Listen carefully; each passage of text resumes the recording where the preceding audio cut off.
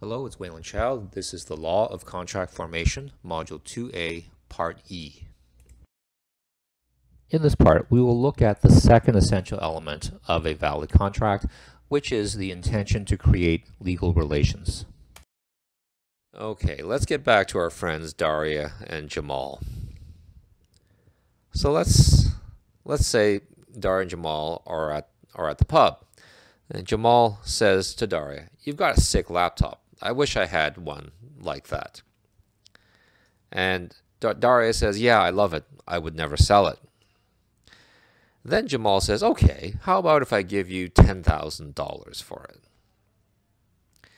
And Daria replies, I'll take that. So the next day, Daria asked Jamal to pay $10,000 for the laptop. Is Jamal obligated to buy Daria's laptop for $10,000? In other words, is has an agreement been formed between Daria and Jamal for the sale of the laptop at $10,000? Have a valid contract, the parties must have intended to form a legally binding contract. So how do we go about ascertaining whether or not someone actually intended to form a legally binding contract?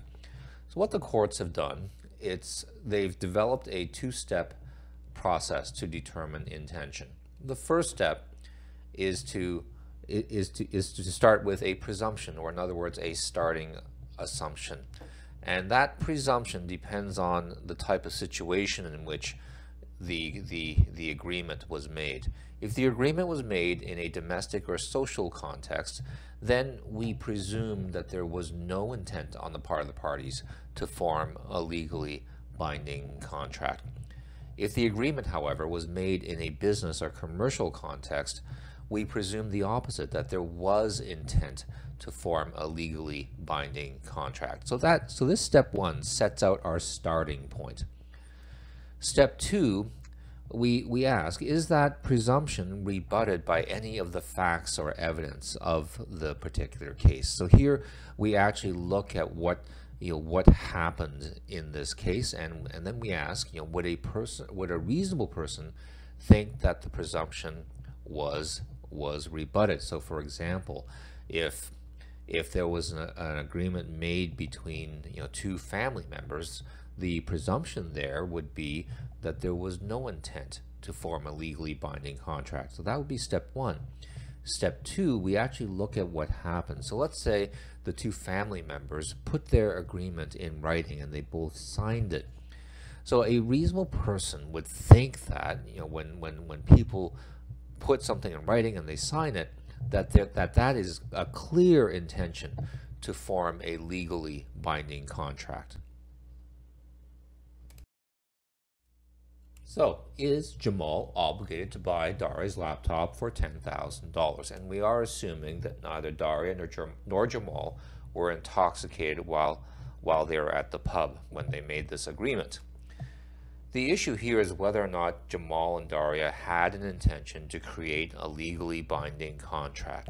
The first thing that we do is we determine our presumption. So firstly, we presume that there was no such intention since the agreement was made in a social context while Daria and Jamal were socializing at the pub. They were they were having a drink, they were uh, they were talking to each other, they were joking around.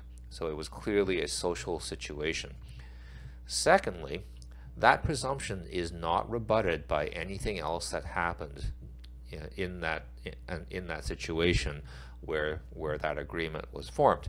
In particular, the agreement for the sale of the laptop was not put into writing. If they had put it into writing, that would have been clear evidence that would have rebutted the presumption and would have would have uh, would and we would have concluded that there was intention but since there was there was no agreement in writing and there was nothing else to indicate that they that they were making a serious uh, agreement our conclusion should be that there was no intention to form a legally binding contract and therefore Jamal is not obligated to buy Daria's laptop for $10,000.